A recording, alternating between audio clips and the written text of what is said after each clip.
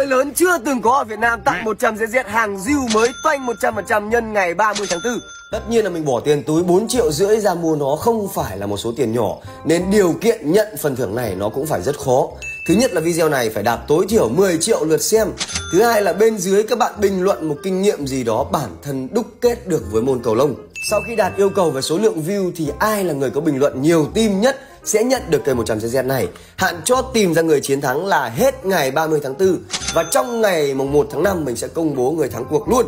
Hứa danh dự 100% đây là sự thật không phải trôi Việt Nam đâu, anh em tham gia nghiêm túc nhá. Vợt đẹp thế này phải thử ngay cái miếng dán đầu vợt. Trông cũng ra gì đấy. Mình chưa dùng bao giờ nên cũng không biết thế nào. Ôi dài phết nhỉ. Để ướm thử vào xem nào. À dạ, đến tận đây cơ à.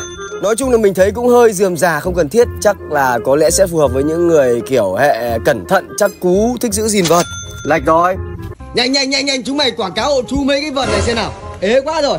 Hai trăm rưỡi hai trăm này. Mua được không? Đẹp không? Đẹp không? Ngon đấy, hàng ngon đấy. Sờ đi, cầm đi.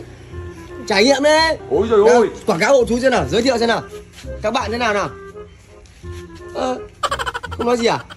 Cái tám tám gì đấy chúng mày này cho, cho cho cho đi làm uh, tiktok là trượt rồi hỏng rồi sốt ruột thực sự luôn hôm nay mới làm xong móng và đổ cát loằng ngoằng cũng phải hết tháng 5 tháng 6 rồi trong tháng 7 mới hoàn thiện công trình anh em đừng quên là song sân sẽ có rất nhiều giải đấu với những giải thưởng cực kỳ hấp dẫn mình cũng sẽ tổ chức các lớp học cầu nho nhỏ dành cho các bạn từ lớp 3 đổ xuống có cháu nào muốn làm học trò của chú Thành không nhỉ? Học cầu lông chú Thành thì vừa xịn lại vừa tha hồ được lên tiktok nổi tiếng luôn Chứ ký gì? Làm gì có cái gì mà ký?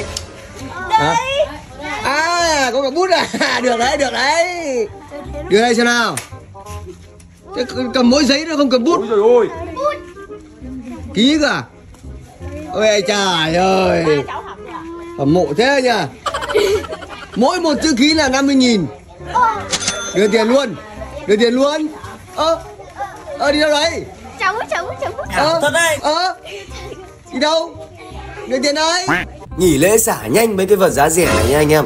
Chỉ 200 đến 250k thôi. Đúng dịp này mình vui nữa Nên mỗi bạn mua vật được tặng hai cuốn cán. Anh em xuống quán ông Hưởng xúc nhanh không hết nhá. Vẫn thu mua trao đổi vật giá rẻ cho những anh em ở loanh quanh gần mình.